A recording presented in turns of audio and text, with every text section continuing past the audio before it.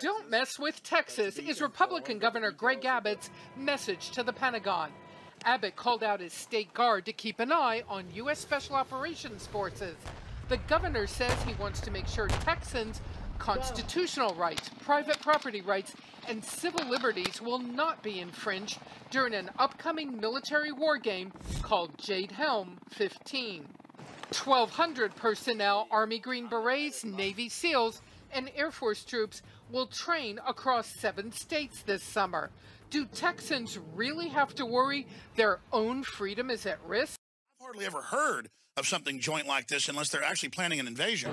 We have seen for six years a federal government disrespecting the liberty of the citizens. And, and that produces fear. Tanks, guns, armor, all tried and tested on the battlefield. Now, some of it is here in central Indiana on our streets being used to keep us safe. You know, we didn't get it because it's big. We didn't get it because, you know, it's intimidating. We got it to save lives. It's awesome. They're getting ready for something. It isn't that martial law is coming.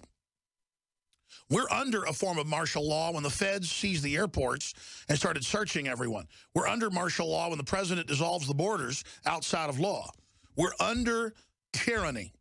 When the police are asked, why do you have these MRAPs, these armored vehicles from the Pentagon, they say, we need to be able to fight sovereign citizens or libertarians or the Tea Party. Now, just add that to all the training manuals and all the admissions, and then we start getting footage from Florida and California and other states this week that we've been airing. And every time we get footage, they're training to attack and beat and arrest and shoot and kill patriots. And then now we have chilling footage of armed Army forces, National Guard, blocking roads in California and marching around basically commanding the public. This is what a slow motion martial law scenario looks like. And I want to explain something. It isn't that martial law is coming. We're under a form of martial law when the feds seized the airports and started searching everyone. We're under martial law when the president dissolves the borders outside of law. We're under tyranny when they sign us on to over half the global derivatives debt that is private and not ours. It's 2.2 quadrillion worldwide. Do the math. You have massive military gear being cached, armored vehicles, machine guns, helicopters, night vision, Humvees, with the police departments around the country. California has gotten the majority of it, uh, along with Oklahoma and other areas to population. Texas has gotten double what California's gotten. We have 10 million less than them. Oklahoma got basically double what California got, even though the crime rates are very low because it's about suppressing the patriot population, just like they have on the map in Jade Helm showing Texas, Utah, and other areas as hostile. This is pre-caching to fight real Americans that won't go along with gun confiscation, you name it. Extremist founding fathers would not be welcome in today's military. Close quote. Army-sponsored report suggests new police force. That's WorldNet Daily. What's that out of? A stability police force for the United States, RAND Corporation. This is the martial law plan that I've been covering for 18 years.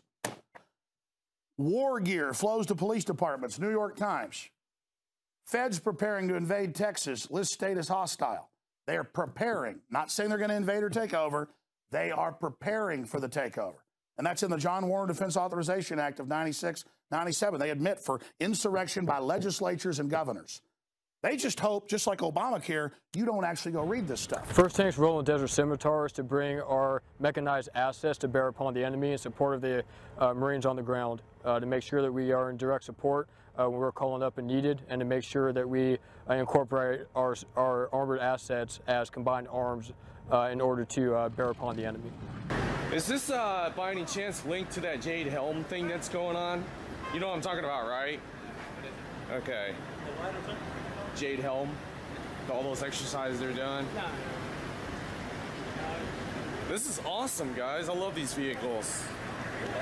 I'm not gonna get in trouble for filming this, right? Get killed. My blood is on your hands. Just don't get it on my shoe, okay?